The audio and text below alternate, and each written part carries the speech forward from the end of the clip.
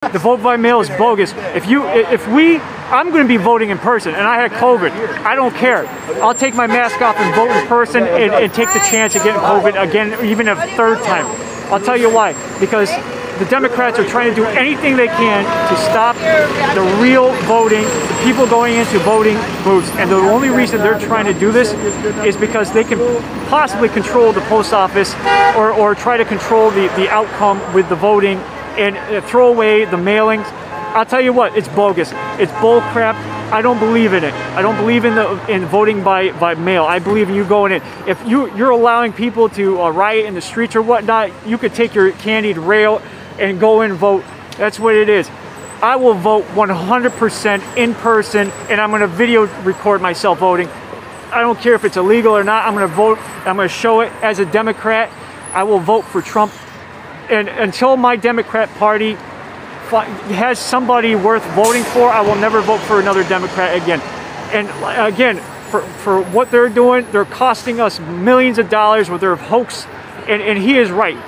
He's not got his fair share. Trump has not got his fair share. It is a hoax out there where everybody's, you know, branding him this, branding him that and they don't understand. It's like it's incompetence with other people in the Democrat Party where they cannot understand that the people that us here are fighting for the American way of life.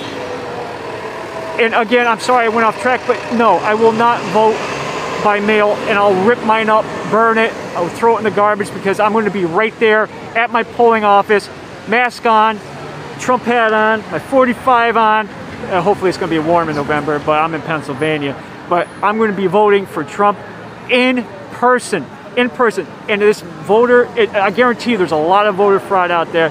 There, look at look at um, uh, what was her name? Um, the one lady uh, that was paying for votes. Well, Omar? Yeah, Omar. Omar was paying for votes. Are you kidding me? And you can't tell me that there isn't any uh, kind of illegal activity out there with voting through the mail. No, absolutely not. Later too. Go to go to the. I'm, I'm going to pray to you pray to me. I pray to you. Please pray for everybody to go out there. I pray to God that you will go out there and vote for Trump by person. Don't you stand in line six feet social distancing. Go there. Don't vote for uh, by mail. You'll vote in person and, and show. Let's all rally around and show our, our president that we can stand and, and, and take this hoax, this this uh, this voter fraud hoax and just tell them to shove it because we need another four years of our president. We need another four years of Donald J. Trump.